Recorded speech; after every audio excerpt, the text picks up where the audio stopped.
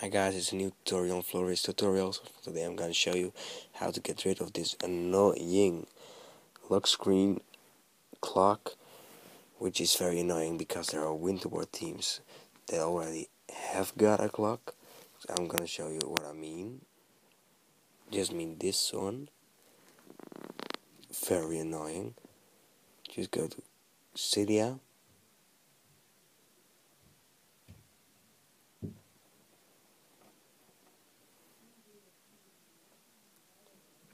just waiting to load it up, you know.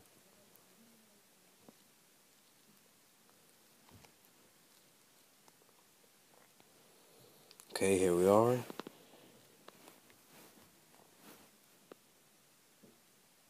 Sorry, guys.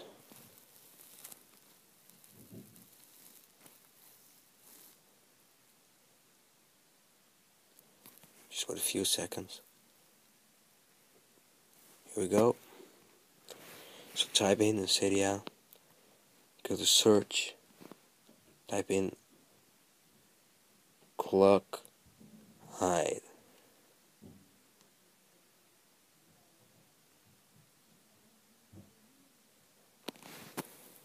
And download one of these. I've already downloaded this. So if you download Respring, go to your settings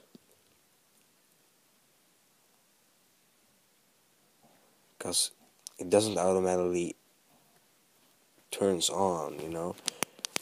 See this? It doesn't automatically turns on. So you gotta go to settings clock hide enable and see much better. So uh, that's that's uh, my tutorial for today. Hope you liked it all and uh, see you later